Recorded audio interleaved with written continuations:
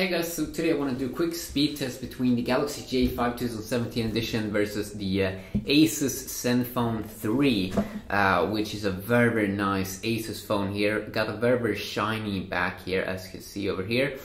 Uh, but a very very nice rectangular camera here, a nice location on fingerprint sensor, very very easy to reach, and the very very nice metallic aluminum a Galaxy J5 2017 edition Duo, so you can use two SIM cards. Uh, but uh, this one uh, here very more slippery. Uh, you do have capacitive touch buttons down here on both, but there is a little bit of a difference. First, the uh, Asus phone is Zenfone 3 here is a little bit larger in size, and also the Galaxy uh, Galaxy J5 it has a fingerprint sensor built into this real physical key here. Now it's it's a Samsung key that's that doesn't stand out uh, on some Samsung phones like the Galaxy S4. It stands out here. It's just like completely flat to the surface here. And also this one has a, uh, standard charging port, not this new uh, charging uh, cable that Samsung is using on many newer devices. So let's start them up here and let's go. So you have Asus own UI, which they have, which is amazing on their devices. Uh, really, really good, optimized, and also have some many times uh, release good latest updates to their operating system. So they are starting up here.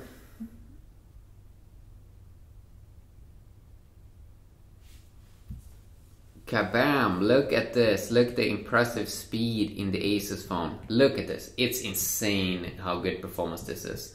It's really, really impressive. I highly recommend you buy the Asus phones. Uh, Samsung is a little bit more laid back here. Still good performance, but not as snappy as uh, the Zenfone 3. I do know that there's also used an effect over there, but it still is a little bit interesting. Wow, look at this. This is insane. This is mad speed.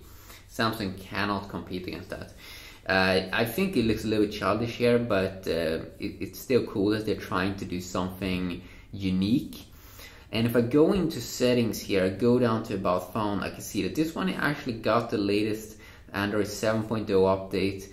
Uh, same as with Samsung, it's using Android 7.0 here. Uh, but Samsung is also using their Samsung Experience uh, version 8.1 on top as a layer.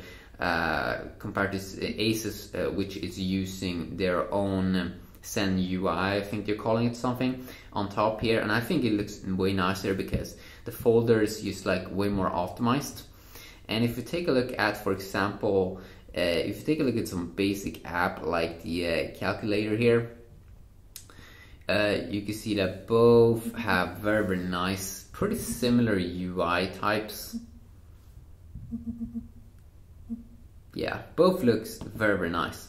And if I take a look at, for example, in the dialer here also, they look pretty, pretty similar. So yeah, that can definitely be good there to know.